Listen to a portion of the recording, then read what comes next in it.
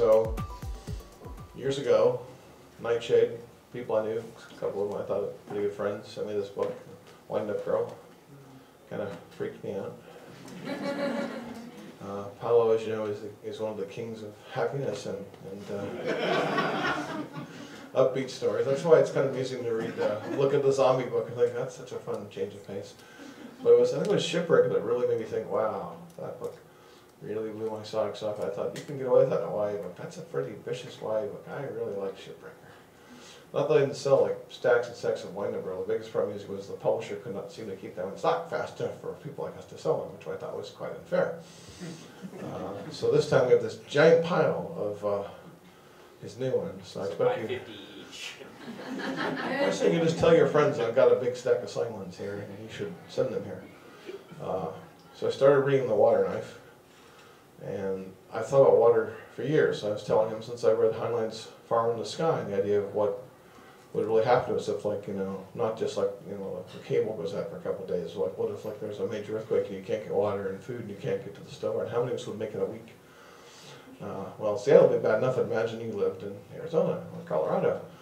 And in a future not possibly too far distant where things are really vicious about water. And who owns it, who's going to do what with it? And so this is where we get the water knife. How many folks have actually read it yet? Okay, so I don't want to say too much about it except to say that uh, people are not playing nice. and what Paolo does especially is makes you care what's going on, because of the arcane technology of what Aquifer does this and who owns the. I thought it's will the people in this book survive? Will they have a happy ending? Will they end up totally screwed? Um, there's some really compelling characters in there. I actually was surprised how fond I was of Angel in particular. Without further ado, please welcome Paolo Bacigalupi.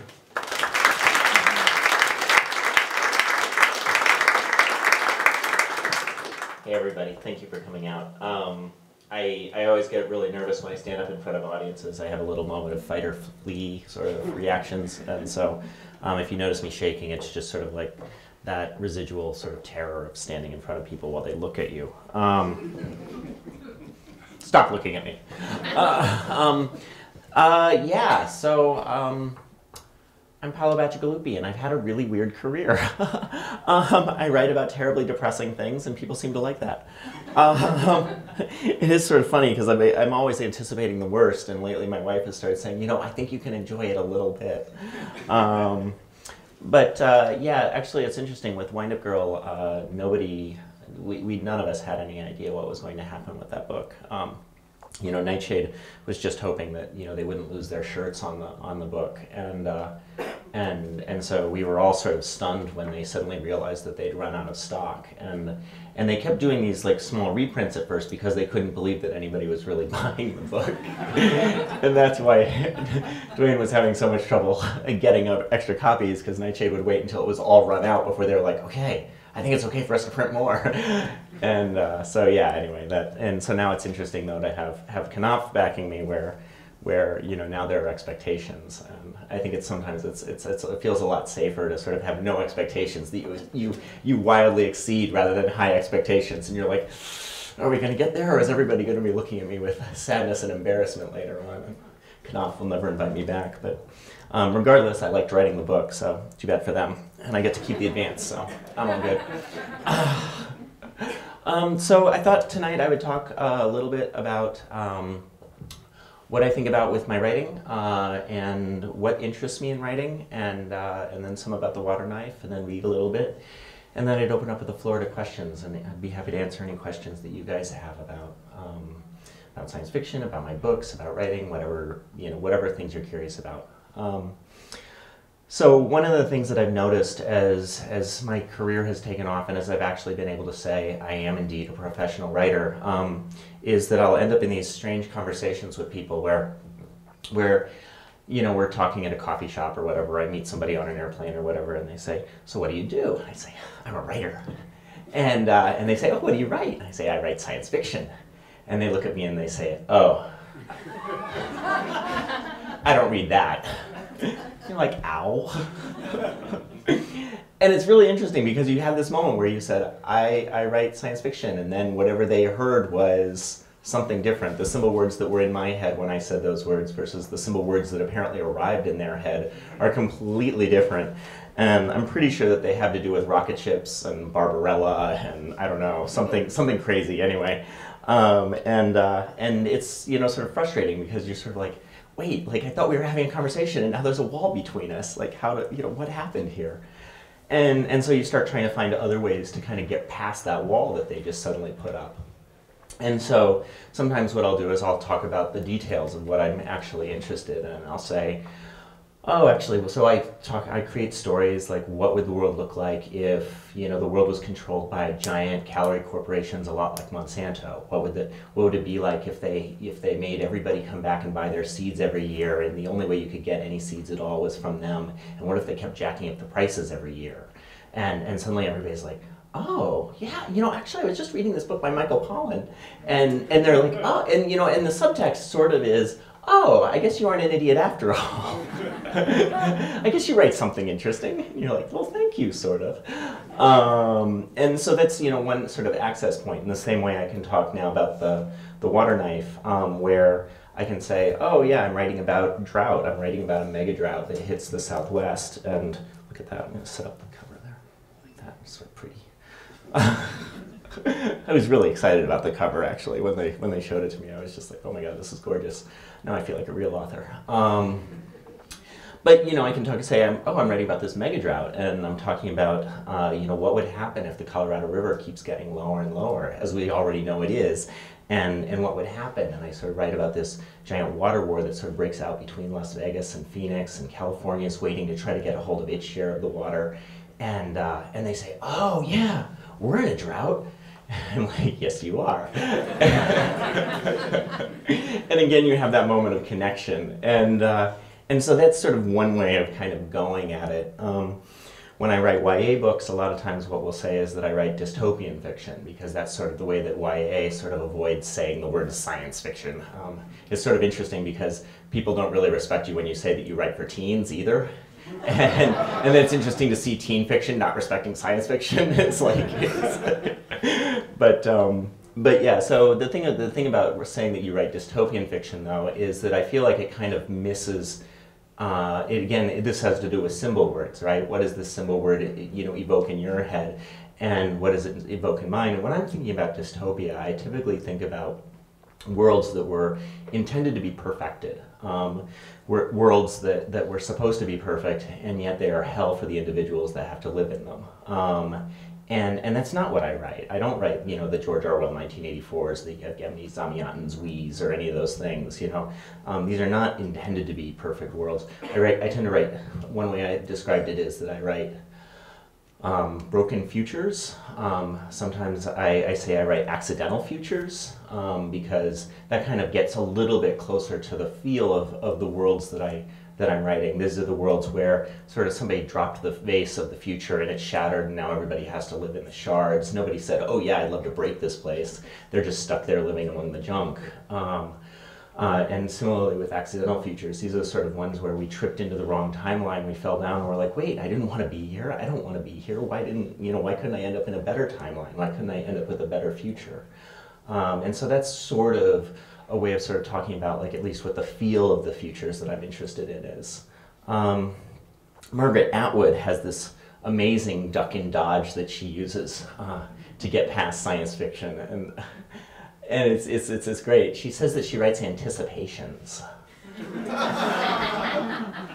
and it, I mean, and it's good because it does kind of give you this sense of like what the fiction is supposed to do. I'm anticipating an idea. I'm anticipating a future. I'm leaning into something with my stories, and so there's an elegance to that. I mean, she's a good writer, right? So she's good with words, right? And uh, so anticipations. Um, sometimes I've said that I write extrapolations um, because that's the tool set that I'm really interested in. Those are the science fiction. That's how. That's the tool out of the science fictional toolbox that I reach for again and again and again. Is is I extrapolate. I sounds dirty.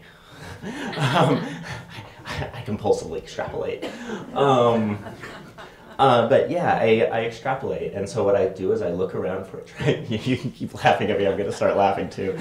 Um, I, uh, I will um, look at a trend and I'll, I'll think about it and I'll say, okay, so if this trend becomes the most dominant trend, if this trend starts to take over everything else and define everything else, uh, what kind of world will that create? If this goes on, what will the world look like? If this becomes more and more severe, what will the world look like? So I can do that with Monsanto and their business practices, or I can do it with, with drought in the Southwest. If I'm looking at Lake Mead right now, and I can see that Las Vegas has been digging deeper and deeper into Lake Mead. They have intake number one, which is a certain elevation, and they dig deeper for intake number two, and they're finally now drilling intake number three, which is pretty much into the bottom of Lake Mead. There's a trend there, and you can look at it. You can say, okay, so if that goes on, what kind of world are we going to get? How desperate for water are we going to get?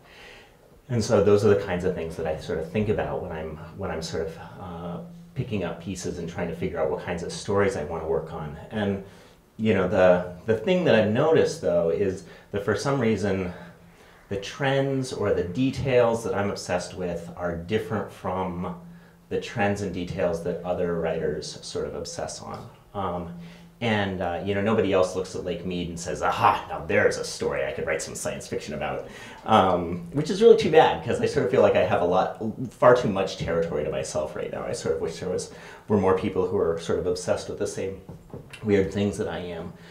But I'm sort of like I've been thinking a lot about like why do these kinds of details and why do these kinds of trends jump out at me and what is the thing that sort of makes me focus in on a certain trend or an idea and think this is what I want to focus on, this is what I want to extrapolate about.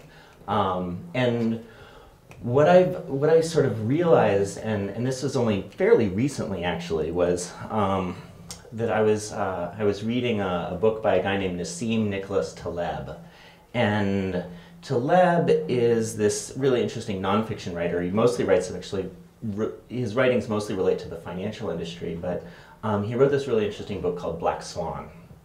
And, and for those of you who don't know what a black swan is, a black swan is something that hasn't been predicted by our historical experience. Um, it's something that sort of comes out of nowhere. All of the data that we had before told us that it was impossible, and now here it is. Um, and so the example being, we all know that swans are white because all we've seen are white swans, so we assume that no black swans exist. And that's a very reasonable assumption, except for that then we run into a black swan and we find out our data set was wrong.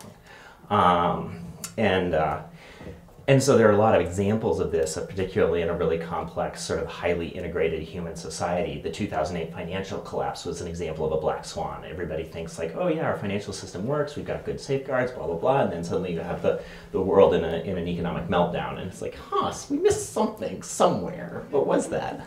Um, Taleb, so, so the thing about black swans, and the, the key detail about a black swan is that it, it relates to a weakness that we have just from the way we are as human beings.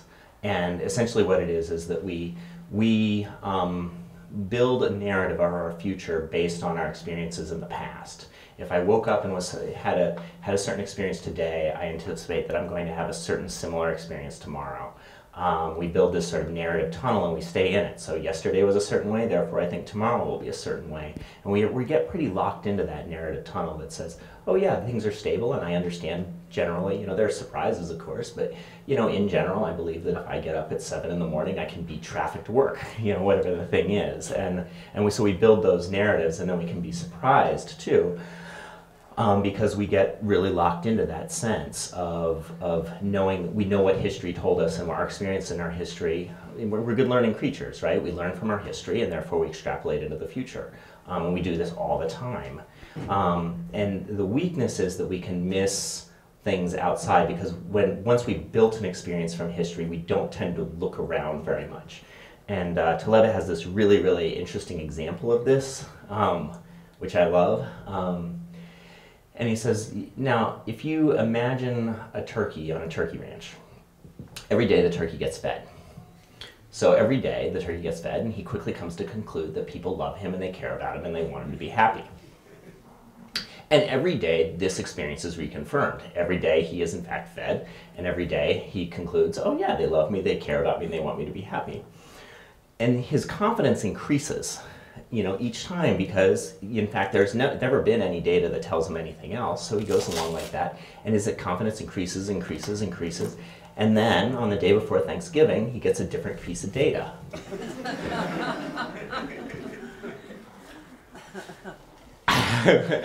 um, so interestingly, in that moment when, when the poor turkey is getting his new piece of data, as he's sort of lying there on his back with the axe coming down on his head as he's about to become Thanksgiving dinner, um, the ironic thing is that um, this sad turkey was never more confident than in that moment right before his head gets whacked off that people loved him and cared him about him and wanted him to be happy. Um, he had this rising tide of expectations and he was at his apex of confidence about that he understood his world and then whack. Um, Taleb says that the moment you should really be concerned is the moment when experts tell you that everything is fine. Um, when they assure you that it's all good, that's the moment you should start looking around because when they're sounding really confident, that's the moment to be worried. Um, and it's sort of an interesting thing because you sort of have to balance, you know, you know, rational concern with paranoia, and so there's there's a thin line between clever and stupid. That moment when you drop over into conspiracy theory, but but nonetheless, you know, experts tell you, hey, our financial industry is totally stable. Wham, and and then everybody's standing around going, oh yeah, that that other who knew? Subprime mortgages, tee you know, and and uh, and so you look at that, and it's interesting though because you know, when that turkey's getting his new piece of data, he's pretty surprised about how things worked out. Uh, but, the, uh, but there's another player in that story, right? And that's the farmer. The farmer had the full picture. The farmer is not surprised what happens on the day before Thanksgiving. Um, and so what I've noticed about my writing is that my interest lies in that sort of gap between what we think we know about the world versus what's really happening in the world. That space where we have absolute confidence that we understand it, and that space where it's like, oh, we needed to be looking a little further, a little more consistently, with a little more cleverness, with a little more imagination. That's the zone that I'm interested in. And so it means that I'm not going to write much about computing technology. It means that I'm not going to write much about certain kinds of techno innovation because we have narratives that are already being spun out in a dozen different lines. And so I'm looking around for the hidden story. I'm looking around for the thing that we were missing.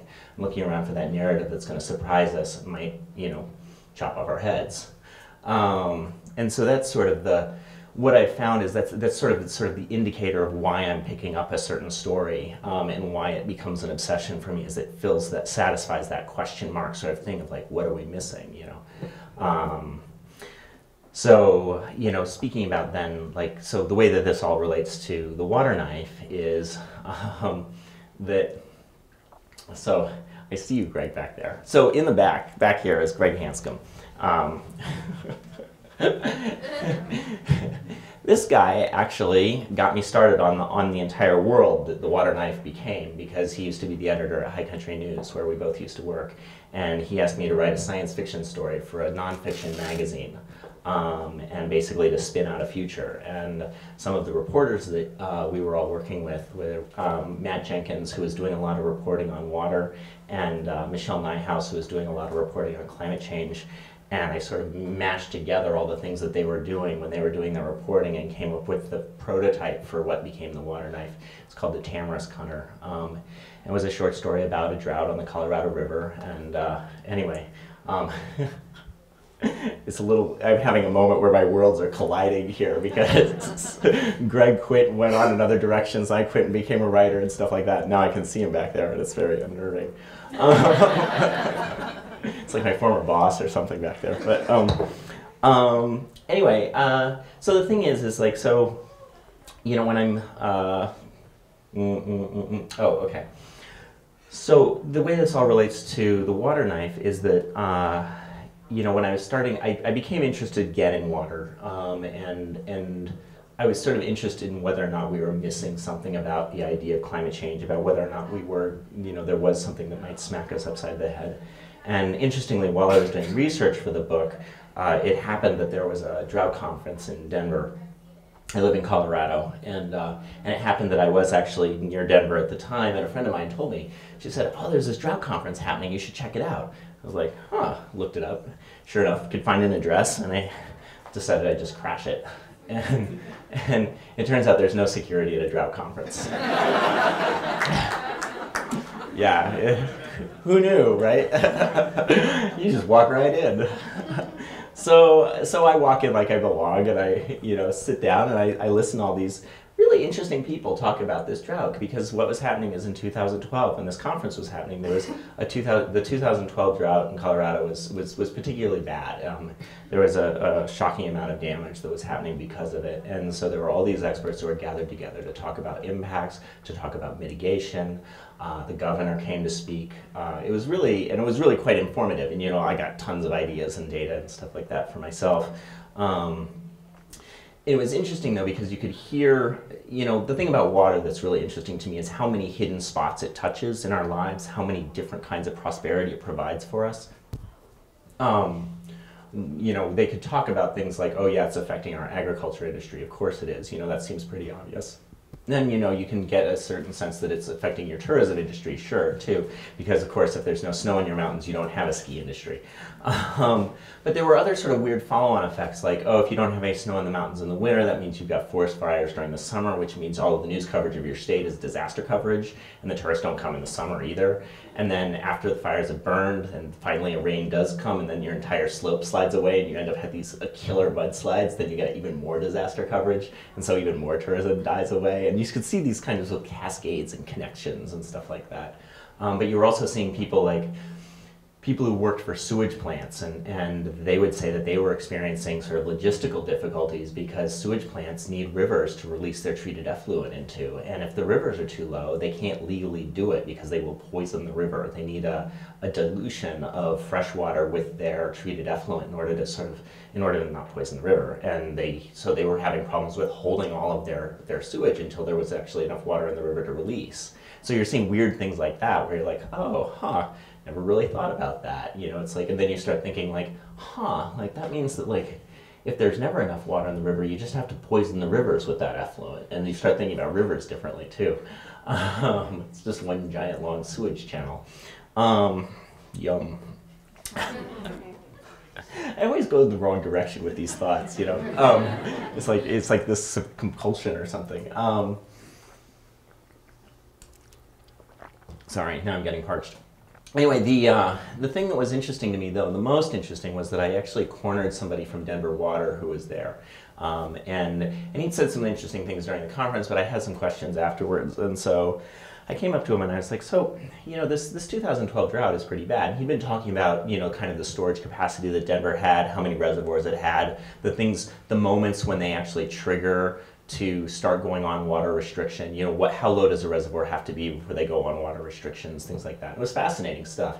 Um, because you know in some cases they'll like they'll guess that there might be problems in the you know later on in the summer, but they don't want to issue a false alarm and go on water restrictions too soon. So they kind of dig a hole for themselves first, and you know there's just weird things like that, policy things where they they don't want to piss off the public before they absolutely have to, um, and which isn't great planning, but but makes perfect political sense. Um, and uh, but anyway, I asked him afterwards. I said, "So you know, this you guys are in a terrible drought right now, and so how many droughts, like the 2012 drought, do you think Denver can survive?" And he looks at me and he thinks, and he says, "Well, I'd say five years." I think we could go five years if we had droughts exactly like this all in a row. And so, you know, he says, like, you know, it would be bad. Like, we'd all be on terrible water restrictions. There'd be real curtailment of industrial water use, things like that.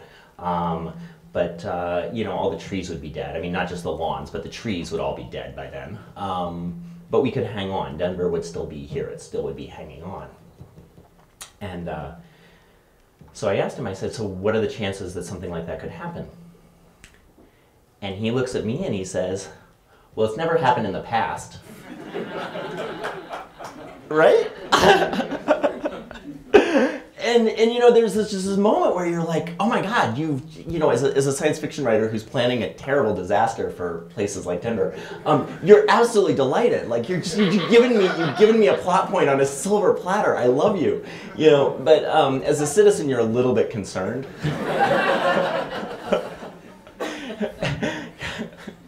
you know, this is the guy who's, you know, sort of supposed to be paying attention to whether or not that water always comes out of the tap. And, and his risk assessment is very much you know, sort of built for, you know, being slapped upside the head with a black swan. And, and, and you know, and so of course, you know, the, the elephant in the room during this entire drought conference was the, was climate change which no one ever said. Um, you know, and this is only a couple of years ago, and nobody could say the words climate change. It was too politically charged. When when Governor Hickenlooper was in the room, he was like, "Well, we don't really want to talk about what's causing this or anything like that. We don't need to worry about that. What we're just going to talk about is we need more resilience in the state, and resilience is sort of the way that people duck and dodge past the idea that like our climate is changing, and we're going to be screwed." Um, so anyway, it's really interesting that that word couldn't even be uttered. Um, but uh, um, I asked the, the Denver water guy, I was like, well, given that, given that climate change is happening, and that sort of means that like all of our historical record may be useless for giving us an idea of what we're, what we're headed for moving forward. Um, where, how, how do you do your risk assessment? And, uh, and, uh, and he looks at me and he's like, he kind of hems and he haws. He's like, well, you know, that, that, those calculations are really complex. Like, that's really, it's very difficult. I mean, it's just very, and, and you, I, I swear to God, I, I, he might as well have said, math is hard. I mean, it was just like, just no attempt to engage with this question at all. And you were just like, oh, I am worried, but great plot point. Thank you so much. Um, so yeah, so anyway, so you sort of see that opportunity there. And, and as a science fiction writer, you're like, this guy, doesn't seem to be weighting the risks very heavily. Like he just, these are abstract risks to him. And this is very human actually. It's like, it's very hard for us to weight risks that are abstract, that are far in the distance, um, that are dispersed. Um, you know, we're really, really good at reacting to the tiger standing next to us. It's like, oh, tiger, run. Big crowd of people, run. Um, you know, those things, you know, trigger real visceral direct reactions. You know, California right now is in a drought and suddenly they're actually making some plans. Look at that. You know, they could have been making plans before, but they have to wait until there's a real visceral threat. Um, and similarly, this, this Denver water guy doesn't have a visceral threat. He has a theoretical threat. And one of the things that I think is really interesting about fiction generally is that it gives us this opportunity to live lives that we never otherwise could have lived. Um, it gives us a chance to sort of build empathy for ideas or people that we never would have understood. You can live inside of the skin of somebody of a different gender, of a different race, from a different culture, and you can learn things from that. Um, and you know, it sort of allows you to sort of land anywhere and become one with a set of surroundings and understand them better. Um, one of the things, I, think of fiction as, as, as being an empathy builder. Um, it, it, crosses boundaries that maybe we could never cross otherwise. Um, and one of the things that's interesting about science fiction is that you can do that, but you can also do that sort of through time. Um, because we don't we tend to sort of be very much in the here and now. That's what we're wired for. We're supposed to be here, we're supposed to be now, we're supposed to be looking out for the tiger right here, right now. We can't anticipate that future experience at all. We can't wait it, we can't take it seriously. But with science fiction, I can give you an experience far in the future about what that might be like. And so you can sort of change that equation of empathy where you can sort of say, hey, let's go live inside of the skin of a climate refugee and see how horrible this looks or see how risky this looks. And it's an opportunity for us to sort of see our future selves, that 30 year in the future self, who we basically discount because we're weighting all of our all of our values and all of the benefit of everything that we do into our present moment and says, oh wait, maybe I do worry about what my future self is going to end up like because I can see it, because I can feel it, because I can live in it. Maybe I can wait a little bit more what my children's experience of the future is going to be like because I'm living in it inside of a book, inside of a piece of fiction. I feel like that's a, a superpower of science fiction that we can weight those future selves in a completely different way than we do when we're going around our daily lives. Um, and so, you know, with the water knife, that was sort of one of the ideas is I want to spin out that future. If I can look at Lake Mead and see it getting lower and lower, if we know that Lake Powell will never fill up again, um, if we know that climate change data says that mega droughts are more and more likely, spin out that future. Let's live in it. Let's think about it. And so with the water knife, um, I basically built this story around uh, two cities on the Colorado River, Las Vegas and Phoenix, and they're locked in sort of a fight over the last dregs of the Colorado River, while California sort of looms over them, threatening to take everything. And, uh, and there are three major characters in the story. Um, there is Angel Velasquez, and Angel is a water knife for Vegas. And the thing about Vegas is that uh, you know between these two cities, Phoenix and Vegas, Vegas are the one. Vegas are the guys who planned. They're the people who sort of looked around and they said, "Wow, we have terrible water rights. We're a city in the middle of a desert. We're really, really vulnerable." And they say, "Okay, well, let's hunker down and start planning here." And so Vegas has done an extraordinary amount of work on trying to retain all their water. So they started building these things called cypress arcologies, which are these huge integrated living structures. Basically, there's housing and work areas, and you know they've got hanging gardens, they've got waterfalls, and um, down in the basements they have the casinos still way down in the grottos, basically. But um, they're these huge structures that like keep all of their water inside. Any water that comes in stays inside and gets recycled as many times as they possibly can do it. They have their own, you know, uh, hydroponics uh, that uh, for growing food. They they just sort of like use every bit of waste and keep it inside. And they're very very efficient. Um, and the other thing that Vegas has is water knives, and water knives are sort of the 007s of water. Um,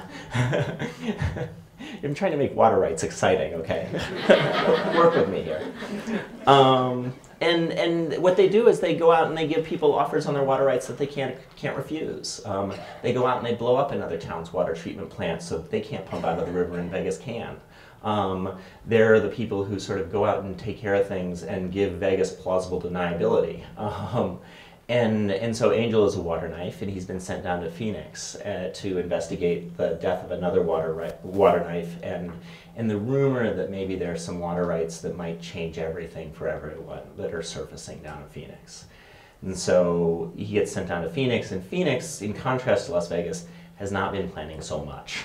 And, and as a result, they're on the, on the edge of collapse. They've been breaking down slowly as their water has gotten less and less stable, as the property values have plummeted, as the tax base has left, as businesses have left. Um, and Phoenix is sort of you know crumbling and trying to hang on. You know they're trying to build their first arcology, and they're like late to the game. And uh, um, and one of the characters who's down there is Lucy Monroe, and she's a journalist, and she's been covering the collapse of Phoenix for over 10 years. And so she started out as somebody who sort of stood on the outside, kind of laughing at the Phoenix people who didn't plan, and you know, as they get their asses handed to them. And uh, by this time, though, she's really connected to the people, and she has a lot of friends there. Um, and in particular, she has one friend who works inside of Phoenix Water who knows things that Angel wants. Um, and so Angel and Lucy are sort of on a collision path. Uh, Lucy sort of in her, in her dark moments calls herself a collapsed pornographer because she sort of covers all of this gloom and doom and destruction in Phoenix for the sort of voyeuristic pleasure of everybody else on the internet and everything else. That's where she gets all of her clicks and all of her money from from uh, ad revenues and things like that is these these terrible stories of like oh look here's another terrible thing that happened in Phoenix today and everybody clicks on it and um, she wants to write really deep and interesting stories about you know what's going on inside of the Phoenix Water Department and what kind of corruption might be there and who's getting payoffs but nobody reads those stories so she doesn't do very much of it. Um, and then the third character in the story is sort of wild card, and she's Maria Villarosa, and she's a climate refugee. Um, she has fled out of Texas, and in this story, most of the southern United States has been devastated by, by mega droughts, and it's also been, they've been hit by hurricanes and floods, and sort of like the weird weather, the intensified weather has, has really mangled the southern United States. And so a lot of refugees or people are on the move, and so she's fled out. But the problem is, as everybody tries to move out of the south, uh, the states that actually have more prosperity, more stability, are sort of setting up uh, border patrols and trying to control the flow of immigration because they're concerned about being overwhelmed by the refugees. And so, you know, everybody's trying to hold back the Texans, basically.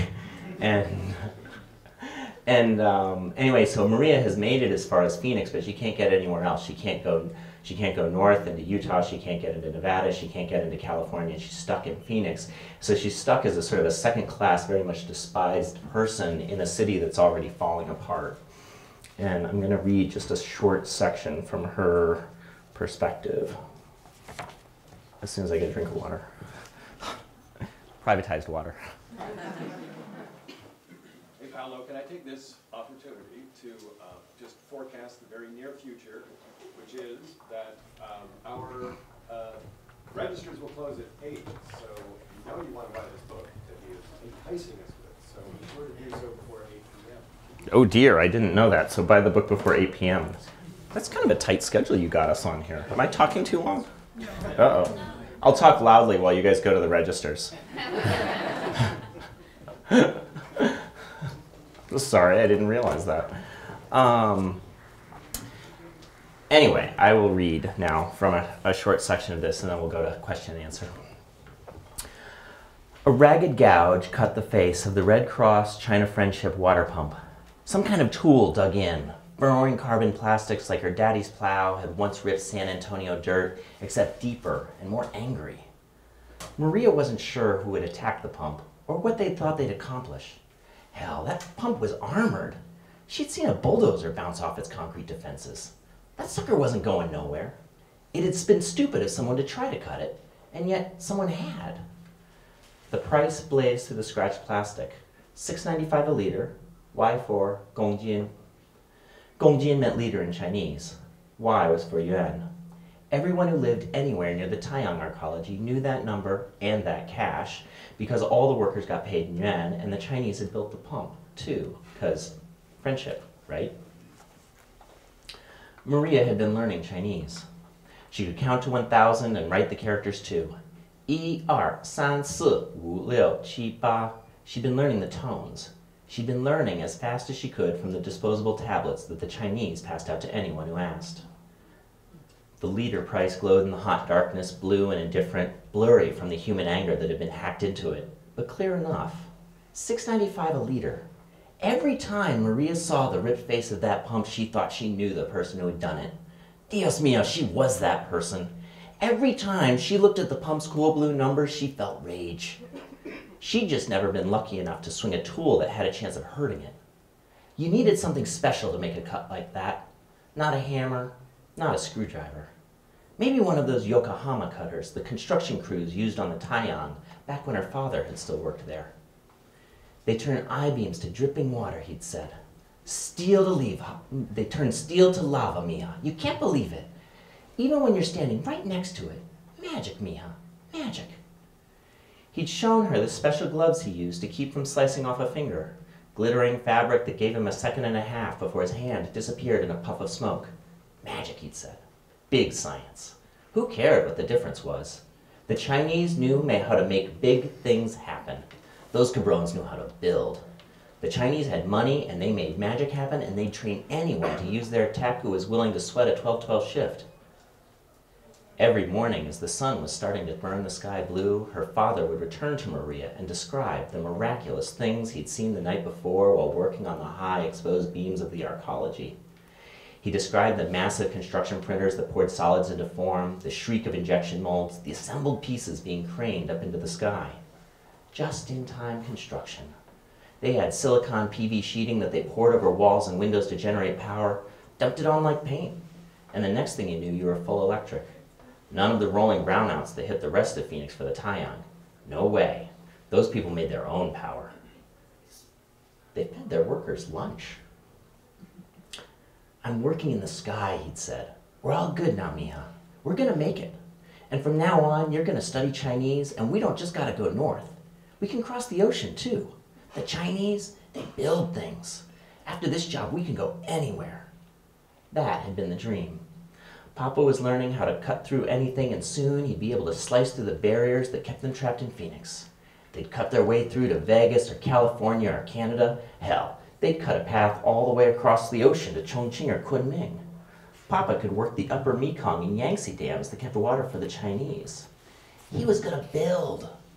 With his new skills, he could cut through anything fences and California guardies and all the stupid state border control laws that said you had to stay in a relief zone and starve instead of going where God still poured water from the sky. A Yokohama cutter slices through anything, he'd said, and snapped his fingers, just like butter. So maybe it was a Yokohama cutter that they'd used on the Red Cross pump. But even that tool hadn't gotten them a drink. You could cut your way to China, maybe, but you couldn't cut your way to a cool glass of water in Phoenix. Maria wondered what price had driven the person to go after the pump. $10 a liter? 20? Or maybe it had only been $6.95, just like now. But to those people, $6.95 it seemed like their first Phoenix police baton to the teeth, something they just couldn't accept. Maybe those way back when people hadn't known that $6.95 was going to be as good as it got forever after didn't know that they should have been counting their blessings. instead of taking a cut at the pump.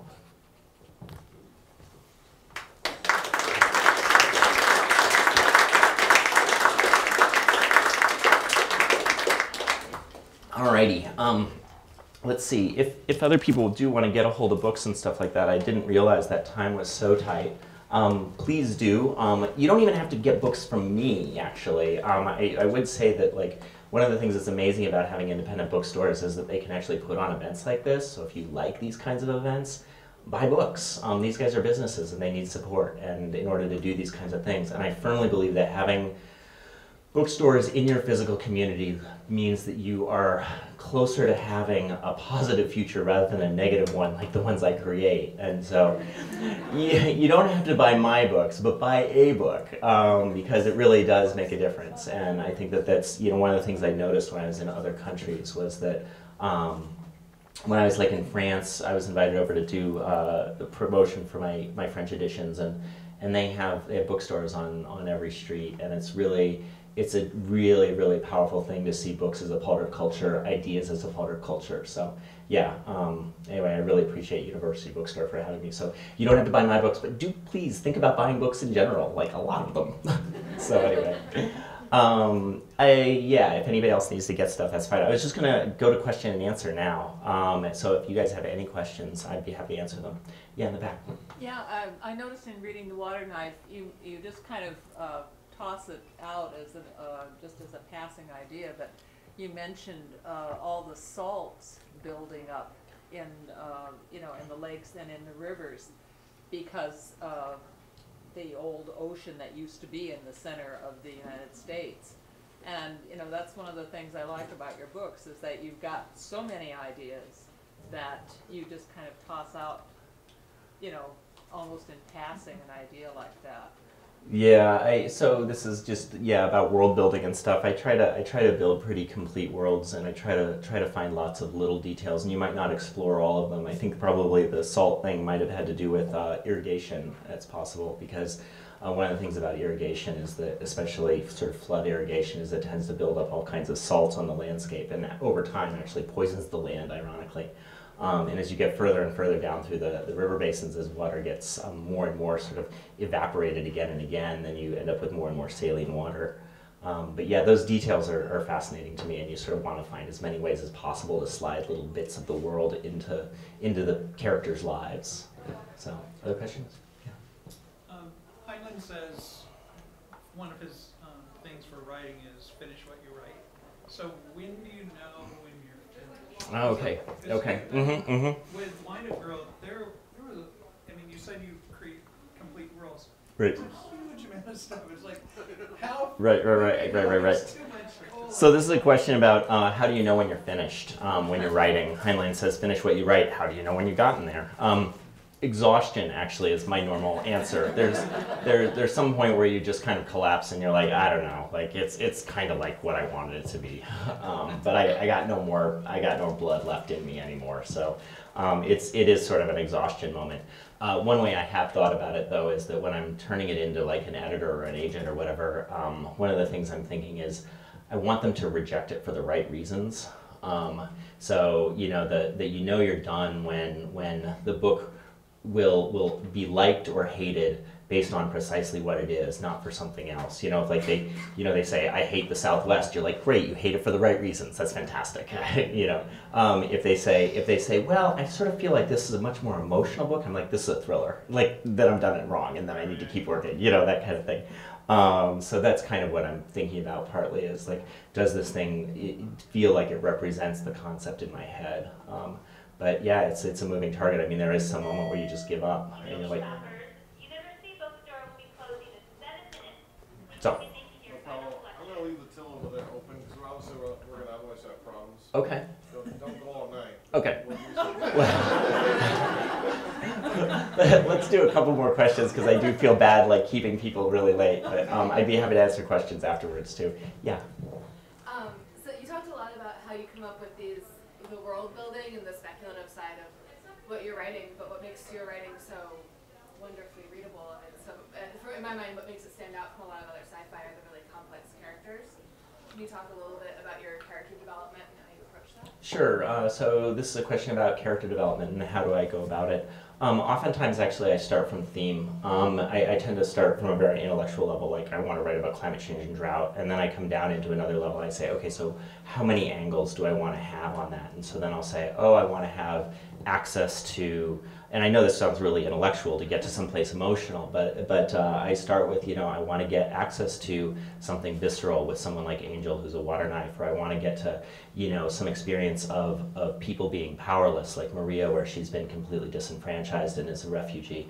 Um, but then what I'm doing is, is I'm really sort of like, you know, running through the scenarios in my head, like, okay, so what's it feel like to be in a drought? Like, what's it feel like to not have any water to wash? What's it feel like to be in a situation where the, the world is breaking? And you're trying to find as many examples as you can, like, you know, where do they go to find water? Where did they, you know, how do they go to the bathroom? Where, where, what are the, how are they finding their solutions? Who is taking advantage of them? Who is, you know, and you're sort of building out those, like, you know, just pieces that are around them in some ways. Um, and then, and then I don't know. You imagine, uh, you know, there's there's something like you you you you empathize with these characters. They're all in different situations, and then you so they're all trying to do the best they can. I almost always start with the idea that characters are trying to do the best they can, even if they're doing terrible things.